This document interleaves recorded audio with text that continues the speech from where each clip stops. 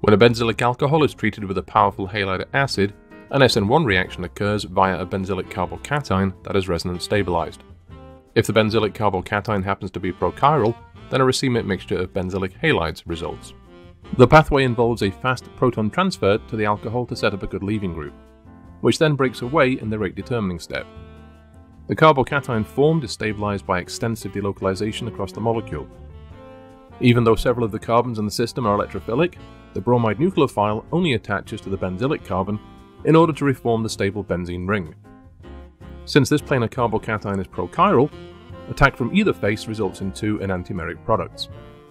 Since a powerful acid is used here, the first step will be a rapid proton transfer from HBr to the alcohol oxygen in order to set up a good leaving group. The leaving group is able to break off in the rate determining step to form a planar benzylic carbocation, which is formed in the presence of bromide anion, the conjugate base from the proton transfer step. The easy formation of the benzylic carbocation is due to its ability to delocalize the electron deficiency over an array of atoms in the aromatic ring.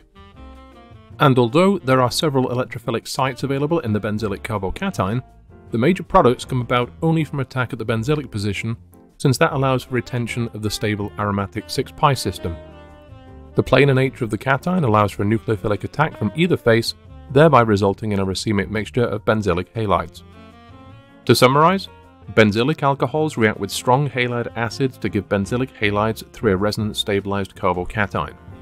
If the carbocation happens to be prochiral, a racemic mixture of benzylic halides is formed.